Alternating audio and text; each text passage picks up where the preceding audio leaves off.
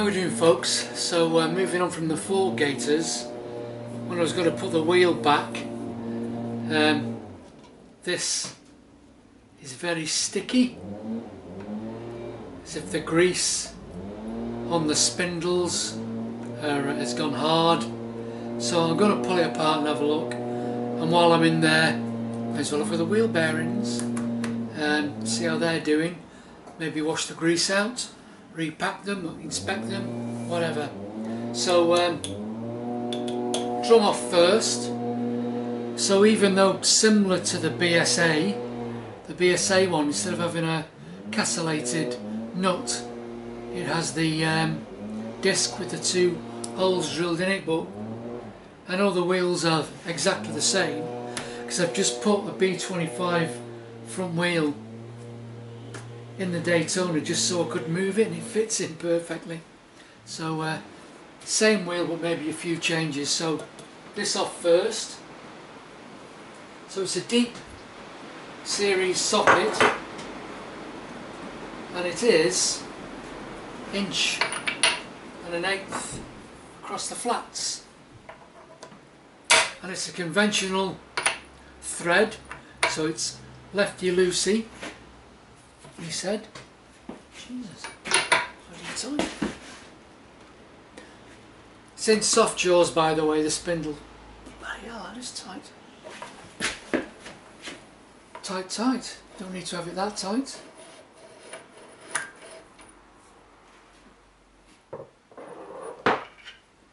And uh, unfortunately, the animals have been in there beforehand if you've not got a spanner, use a chisel. Right, okay. So this should now lift off. Yay. So it's a bit manky, but uh, just wants a good clean brake shoes look. Oh, got grease. Obviously it's been lubric been pumped with grease, over greased.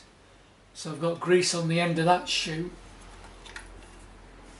That one's okay, but yeah, it wants a good, a good clean anyway. So that out of the way for the moment, and uh, that doesn't look good. Um, that should be flush in there, shouldn't it? It's obviously come loose or something. So here's my special tool, whatever. So uh, this is a lefty, isn't it? So um,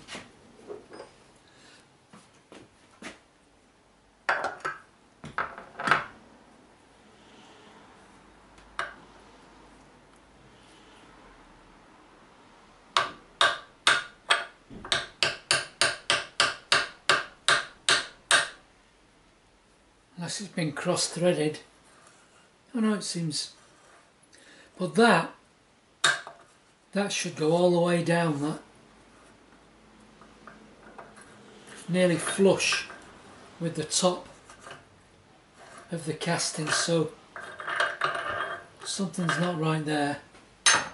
I'm not really sure what that would be. Threads look okay. The bearing should be a lot further in that way, shouldn't it? Uh, not sure what's going on there. Anyway, let's uh, spin her over.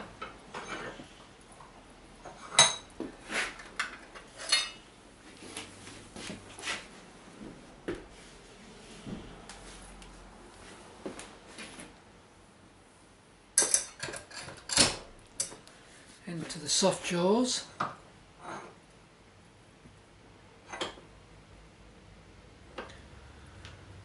Circlip.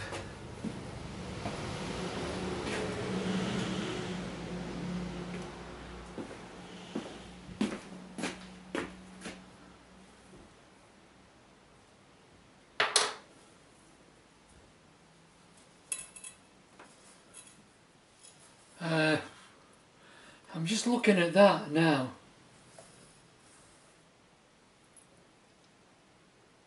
And it looks like the shaft. There's three steps on this I think. This diameter, a slightly bigger diameter and then the size where the bearing fits and that is all peeled up there so that is could be why that bearing isn't sitting down. Maybe. I've got my glasses on, watch my eyes.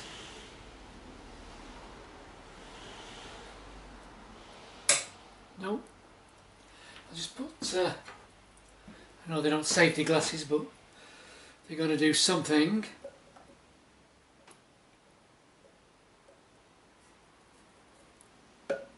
tight. We're out. Yeah that's uh, that's all bulged up on one side there. That is why that bearing isn't all the way back. It's against the shoulder there. I'm not sure if you can catch that but you can see on this side there how it's gone over that second diameter no problem as it should. But when I spin it round to here it's obviously hit and that's why that shaft hasn't come through. So uh, let's keep going anyway. So I'm just gonna now gently drift that bearing out with a copper face or drift the shaft out with a copper face.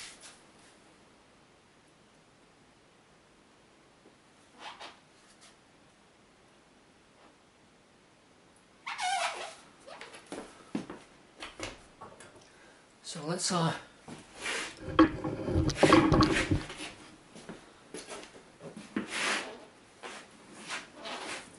So if I come this way first, it should bring that, it'll bring the shaft and that bearing out.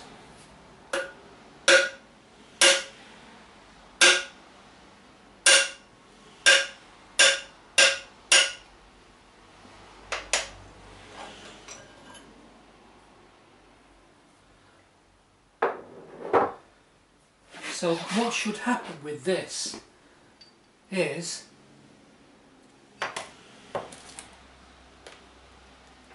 this steel retainer should sit on that ledge.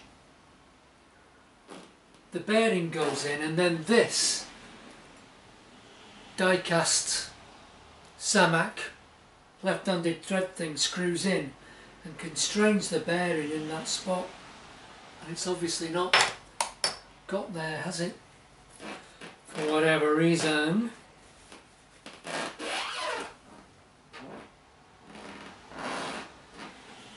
So now I'm going to use and take the bearing off here and I'm going to use this shaft to push the bearing out. So if I just gently, it's a bit mucky,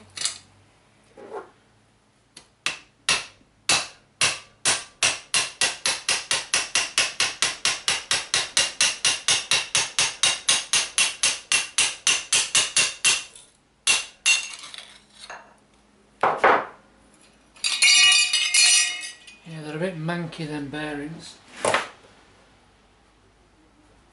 Now if I put this back in this way, I should be able to bring that bearing out against that shoulder using this shaft.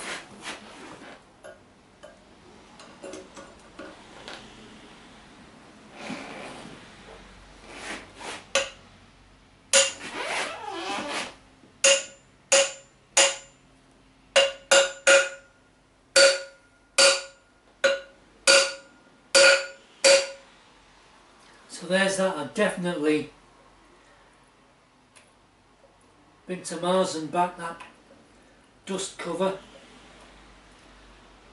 Might not be able to straighten that. Can't even get it off the shaft.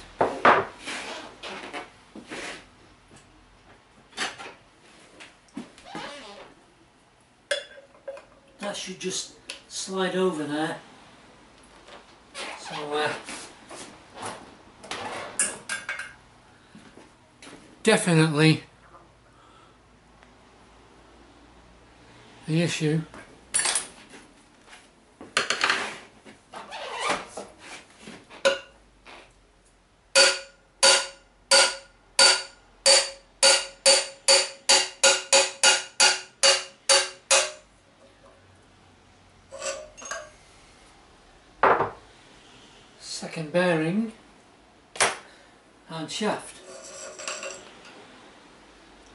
we should be left with is just the inner dust cover which we are. So that's all stripped out. So that can stay there for a tad. And let's have a look.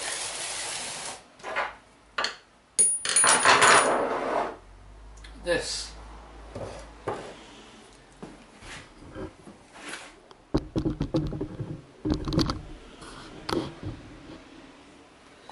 So they'll be, and they are, 9 sixteenths.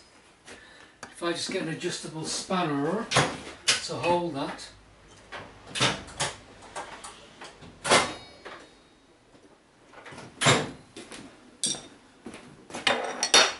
Of pliers, take this split pin out. So I'll just take one split pin out.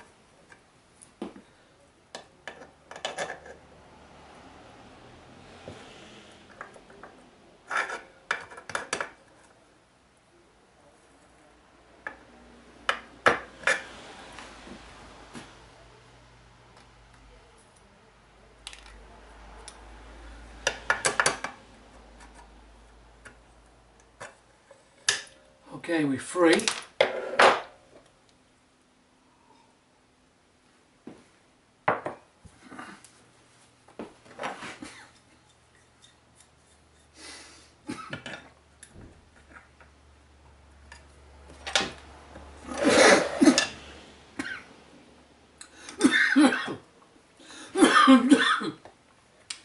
I'm just choking, gulping the tea.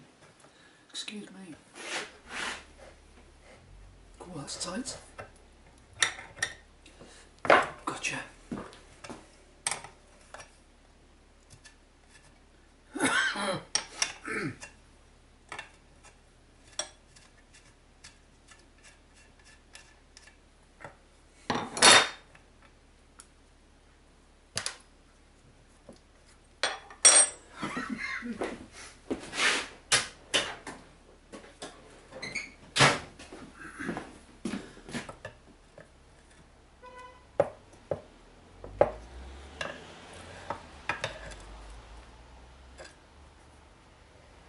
I'll just leave that for a second, get the other one off. I don't want to...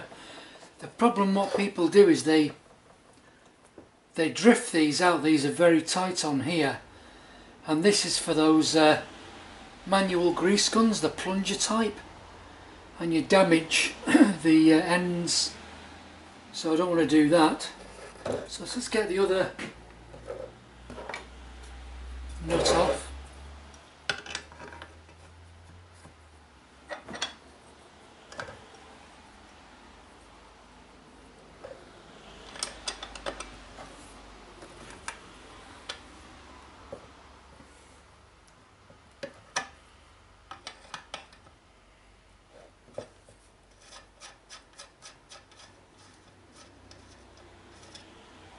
So there's no washer on that one, but there there should be a washer on there, the same as same as that one, because it allows the square to be pulled through, and they're specials. So I haven't got one of them. so it's definitely been apart before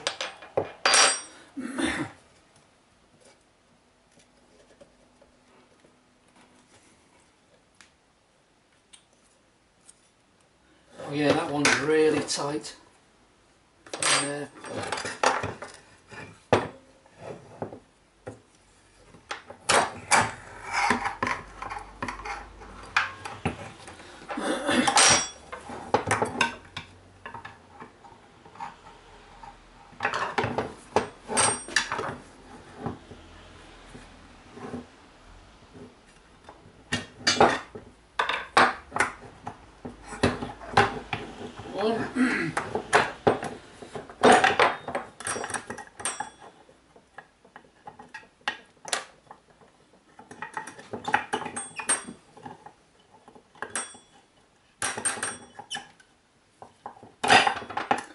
just going to mark these because I want them to go back in the same place.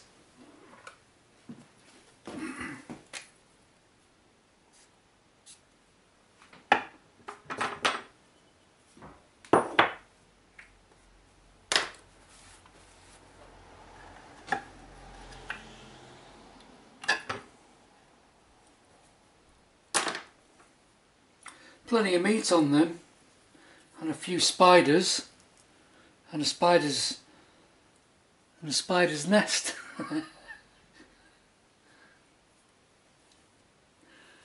that one, unfortunately, is uh, I mean it might come out with um, brake cleaner. Give it a shot. So I'll have to drift those off because you can't get underneath that one. I'll be able to get a little puller under that one. That one's not too bad, but that one is very, very sticky. So, I'm going to strip everything off, wash everything, wash the bearings, then when they're washed, airline them off, see if they're worn, and I'll have to try and do something with that. I mean, it might be recoverable, but and a dragonfly probably have those in stock. So um, we'll catch you in a short while after we've cleaned everything up. Okay folks, we're uh, all cleaned off. Um, I've solved the reason why. And it was definitely this rare dust shield which I have managed to uh, by using a couple of sockets tapping one inside another folding the flange back inside. But it looks like the left hand bearing has been installed first and I normally put the right hand bearing in first because that's the one which goes up against the register and is clamped into position and that's the one that gives the datum for all the lengths because that's the only fixed point. Whereas the left hand side one is a floating bearing not floating in the, that respect that it moves anywhere but it finds its place after the register so it should be this one first. So it's hard to see but there is actually there's actually three diameters there that's the bearing fit diameter. That's the dust shield, and that's obviously where the um, the bottom of the slider clamp goes. And that had hooked up on the back of that first diameter, and that's why that was further this way forward in the hub. But the problem that it's caused is if you look at the because this was then never allowed to go all the way into the drum. What it's done is I should be able to pick that up. You've got like this two millimeter ridge where the shoes have never actually been in the drum. So um, I'm just going to try and just linish that edge because the shoes have come good. I've managed to get the grease out of them with um, where they've been the shafts had been over greased um, with some brake cleaners so they're, they're lovely and dry as they should be.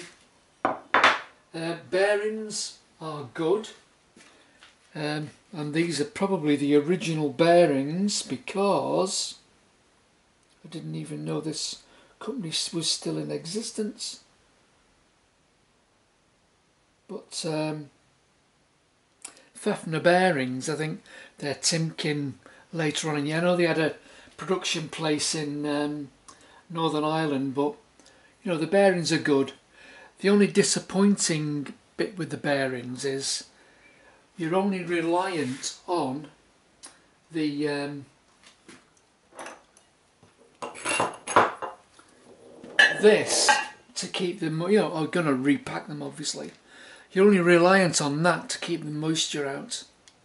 So not that you're going to go wading in the bike, but if you went through any depth of water where it come up anywhere near the centre line of the hub, then obviously the water can actually get in.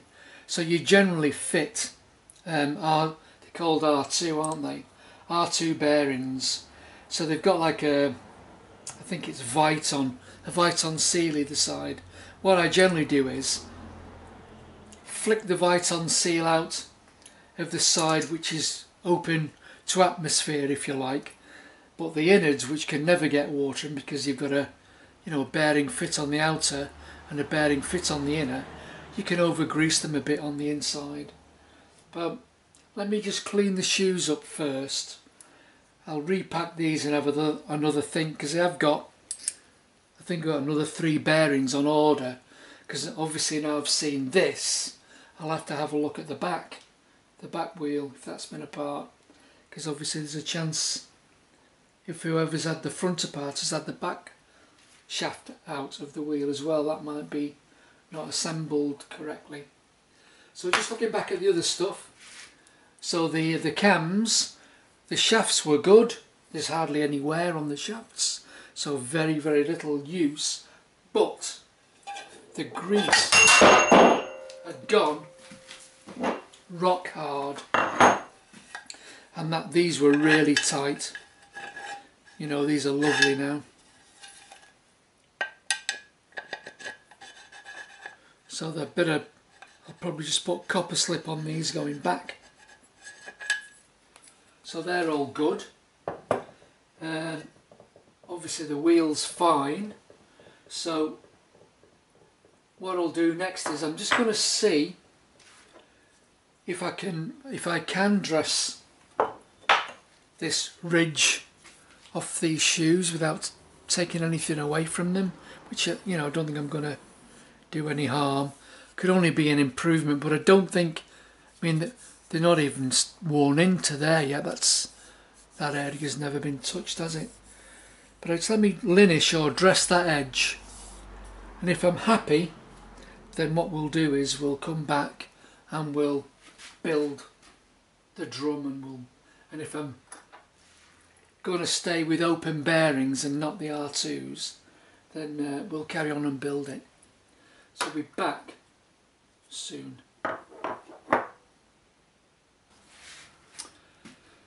Okay, the edges of the shoes have dressed up fine, so no worries there. Bearings are greased, so we're ready to go. So just, this makes life a tad easier. It's just a, an M16 bolt.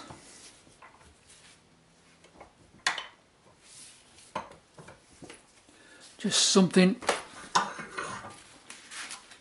for the drum to rest on like so so we're just gonna put a little bit of copper slip on the shafts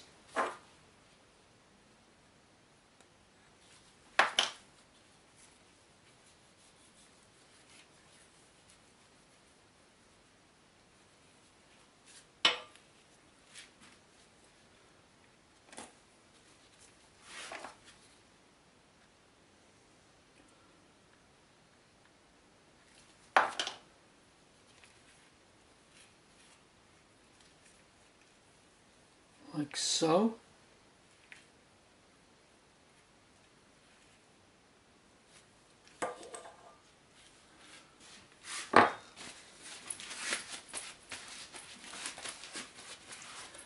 Drop the shafts in so I do like to put everything back as it came out.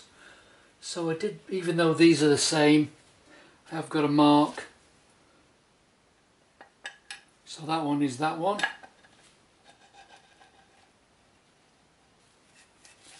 and that one is the other one.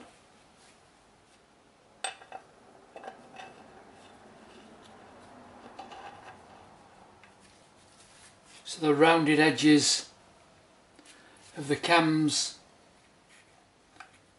face to the top.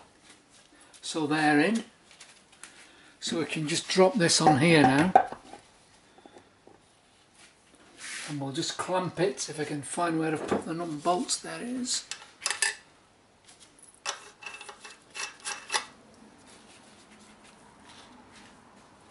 and a 24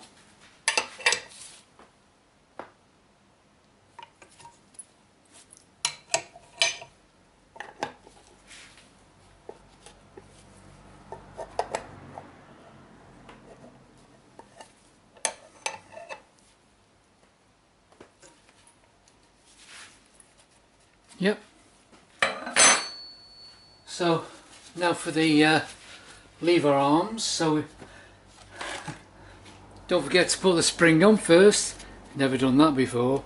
Oh yes you have. and these are a really tight fit on the square. So that's the pull for that isn't it? going that way so that's going to be there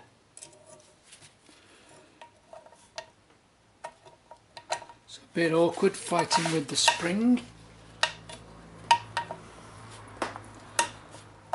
But we're on and just get it started.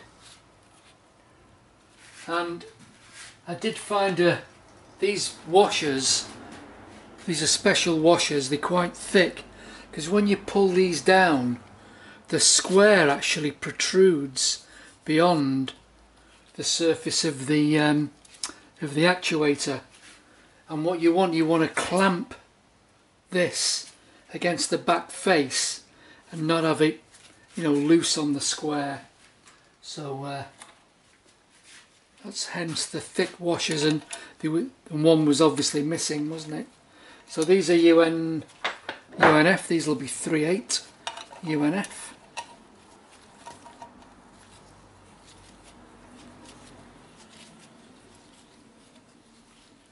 So you just got to make sure you keep the washer central. So it pulls the square up beyond the surface. I can feel it going quite nicely. And now it's going tight and it's we're definitely there. So be happy with that and what a difference we didn't have that before so same with the other and obviously facing up just got to get the cam in the right place which it is so that is going to be obviously there to meet that. Yep. There's our thick washer that I luckily found which is big enough to go over the square if we can get it back off. It's got to clear the square because that square is going to protrude beyond the surface of this.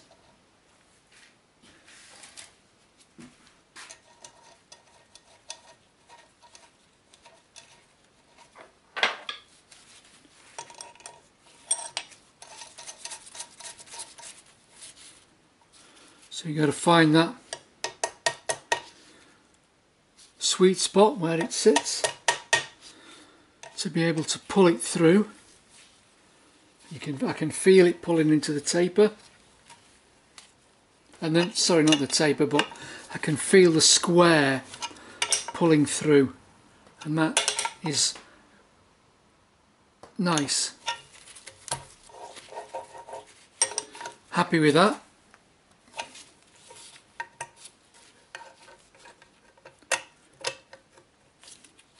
Yeah. Okay, that's that side done. Let's spin him over.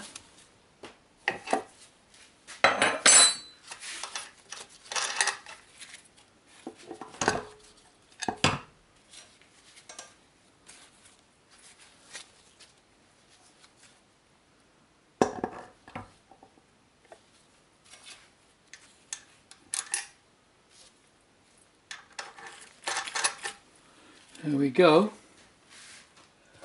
24 mil.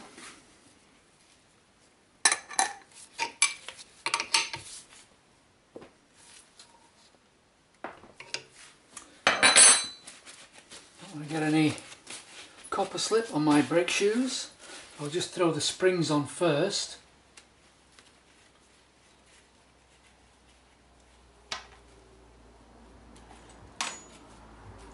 So I'm never really sure whether the spring end should face up or down.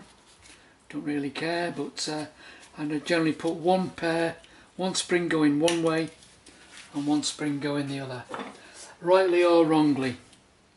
So I've got to get these the right way round. They'll only go on one way anyway.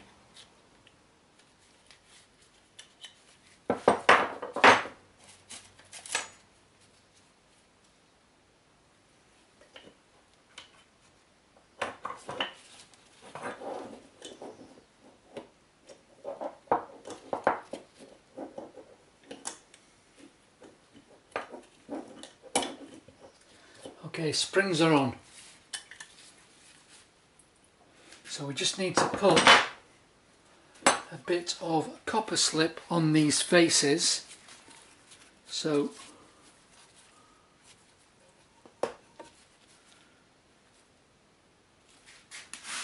obviously this sliding surface off the cam. Only a bit, not too much.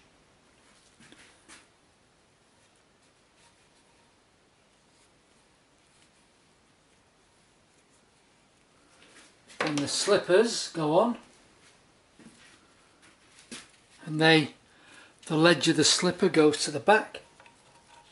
The steel slippers.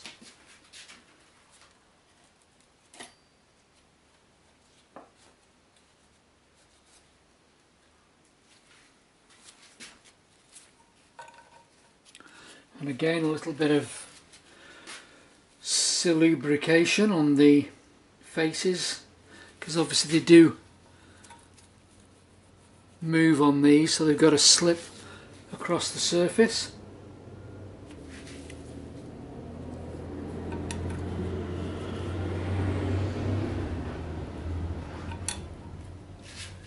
And I can just put a tad more on there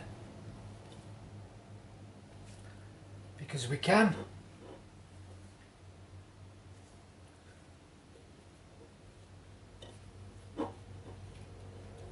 And now it's time to trap our fingers. So the right way up, so if you remember I did mark these so they go back in the same place. So I'm going to put the top one on first.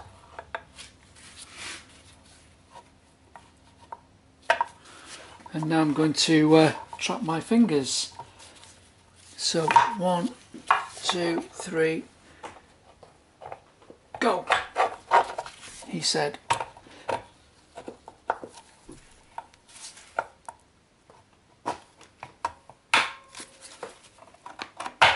And we're on.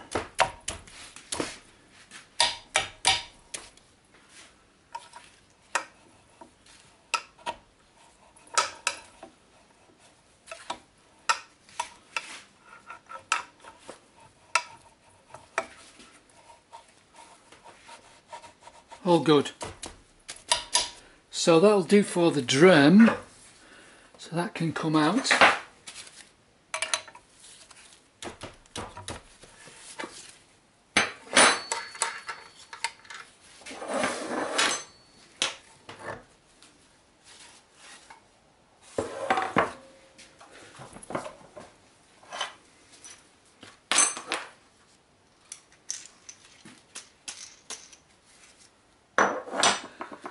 And now we're ready for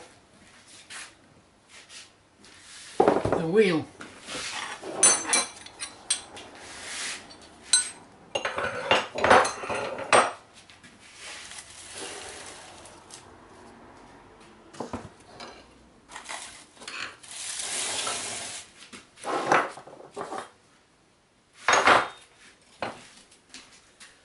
So we're going to put the fixed or datum side bearing in first.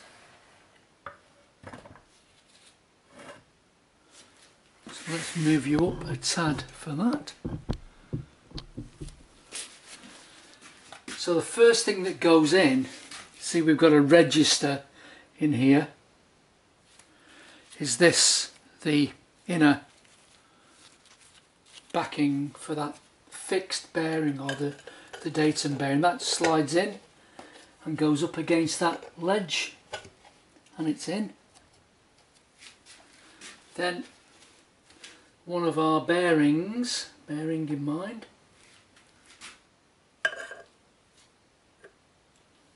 and what I have is I think it's an inch and a quarter or inch and five sixteenths It's an in, it's an inch and a quarter socket, um, and because you want to be knocking on the outside of the bearing, and it should just drift in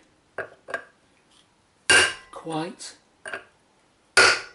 nicely until you hear the tone change so we definitely bottomed out there.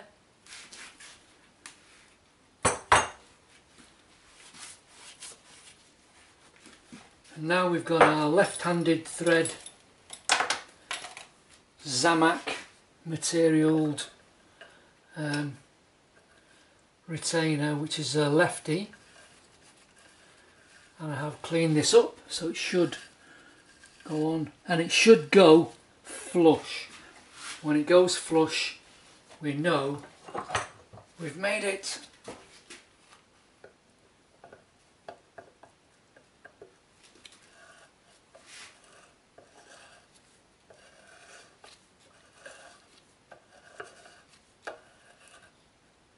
Okay I'm just gonna don't have to go mad with these obviously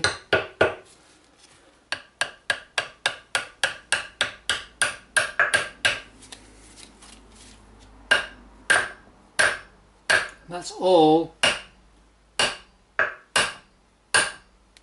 that needs. So now that's flush and that's where it should have been when we opened it up. So next is the shaft is going to go in from the other side. So I'm going to have to do this down below.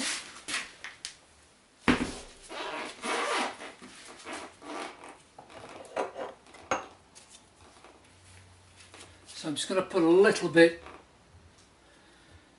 of jungle juice on there as assistance. A little bit on the threads because we can and I'm just going to put a smear in the centre just to stop it rusting you know obviously humidity is going to get in there anyway and that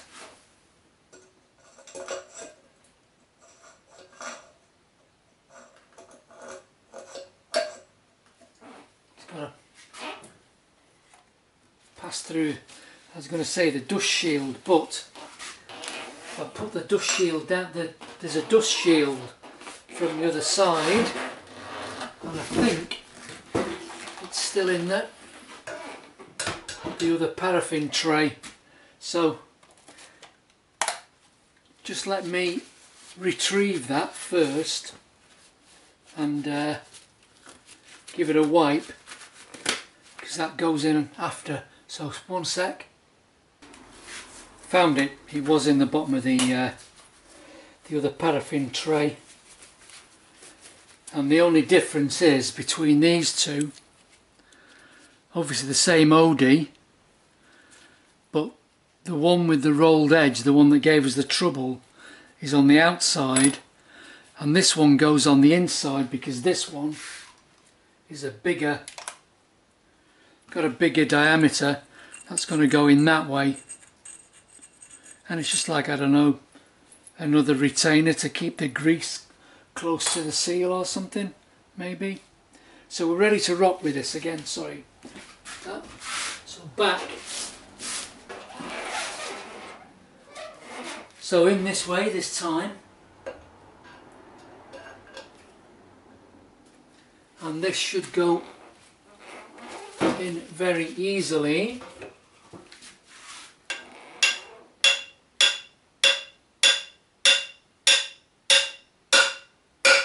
bottomed out it's the good sound. Let's get a shot of the excess grease.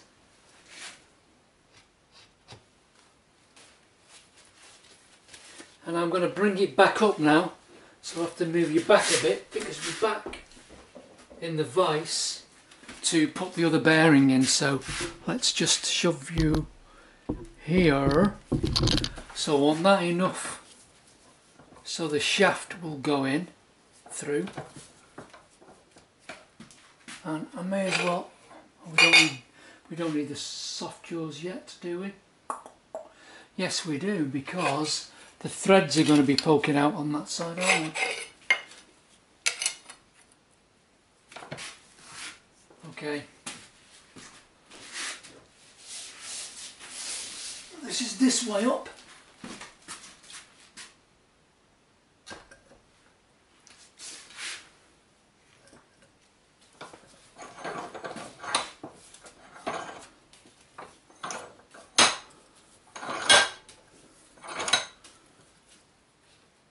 Go mad tightening it. So there's our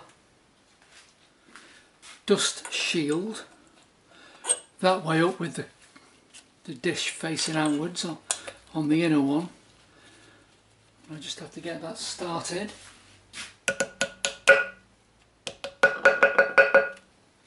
And then we've got our lubricated bearing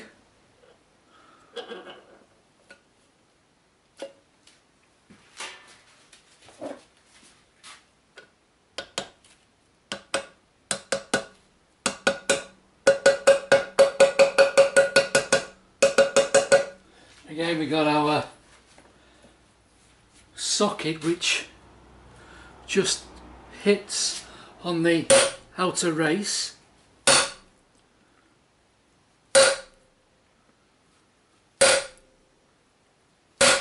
She's away nicely.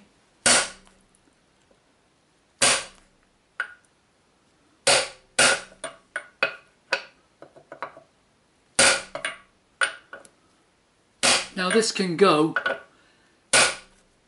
it's got to go deep enough for the other dust seal to go in. But also there is a stop or another register on the um, and I think that's it on the shaft. So it can only go in so far anyway. But this bearing isn't constrained in that fact. It can only go so far in that direction because there's a slightly bigger step uh, on the shaft. And it can't come back out this way because once you put that dust shield in um, we've got our circlip that goes behind it. So I could shove a little bit more grease in there because we can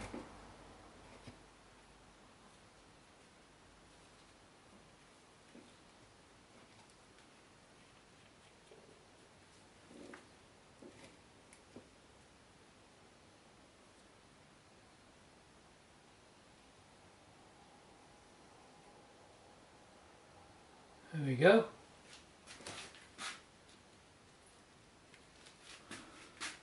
Now this will go over that second diameter, he said. Again with my socket.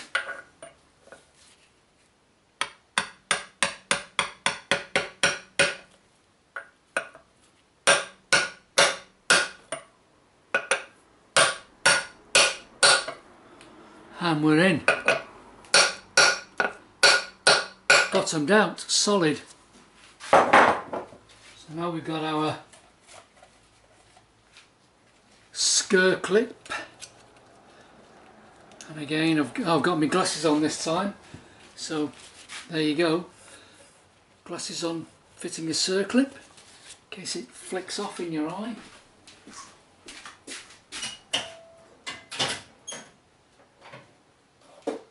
Can't remember which ones we used circlip pliers, I think it was these. I mean that the holes in these are teeny, you know, compared to what you find today in most stuff.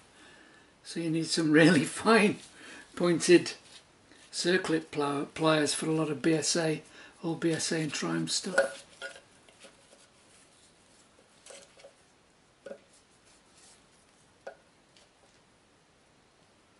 Come baby, you can go. There you go.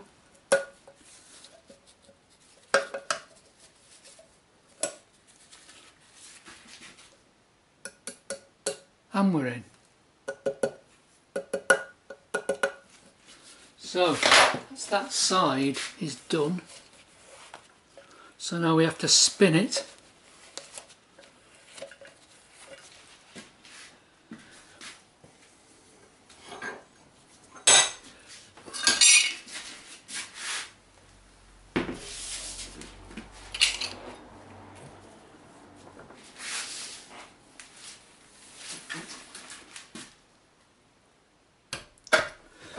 heavy old wheel this.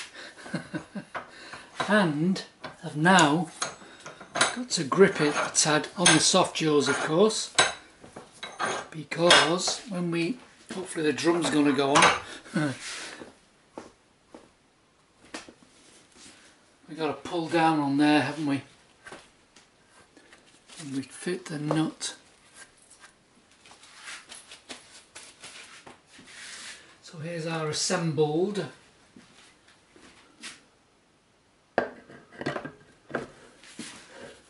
So the shoes are going to be want to be shifted around a bit.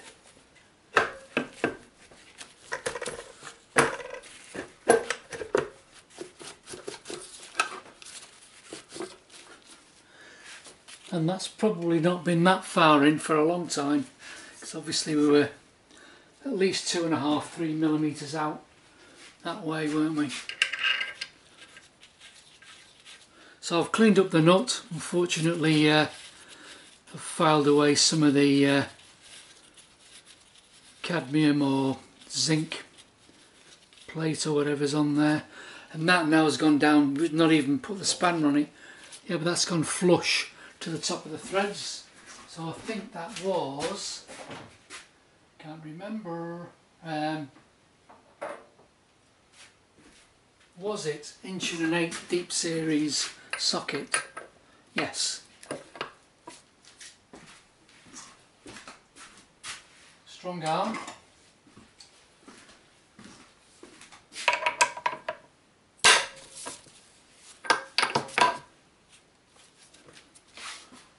So that now we're pulling this inside of this alloy backplate the nose or the snub is passing through that Mazak inner bearing retainer. Past that and now it leans against the inner race of the bearing the right hand bearing which is sat in the register. And you don't have to go ballistic with this. That'll do it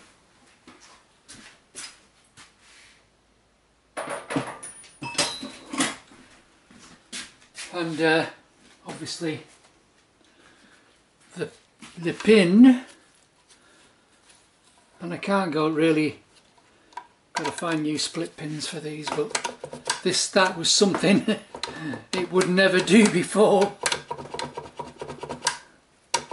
So I'll just have to raise it up a little bit if I want to spin it in the vice if I'm strong enough. So it's, it's leaning on the hubcap no I'm not going to be able to lift it up with one hand so I have to bring him out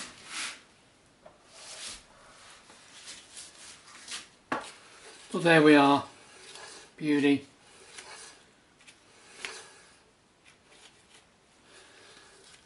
Nice and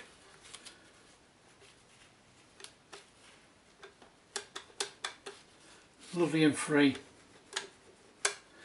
So a couple of new split pins in there anyway because the one cheek snapped off that one anyway. And the other thing the other one's only got one leg as well. But we're done and uh, I'm not going to mess with the adjustment because the, the shoes have gone back in exactly the same place. All I've done is take that edge away which had been left because this was two and a half or three mil out this way. Um, and just roll it and see how it feels on the bike first. If it doesn't feel right then obviously we'll have a go at uh, pairing the adjustments up but for the moment I don't want to touch it because I think the shoes have actually worn in quite nicely um, into position. So there we go. And that is ready to go back into the bike so uh, the next one's going to be the, the carbs. Um, I did pull the carbs off yesterday and they're in a bit of a mess. There's been water in there and all kinds of stuff. So um, the next one will be stripping the carbs and uh, pulling the jets out, giving everything a good clean and see what we need to replace and see what's good and what can stay. So we will catch you on the next one.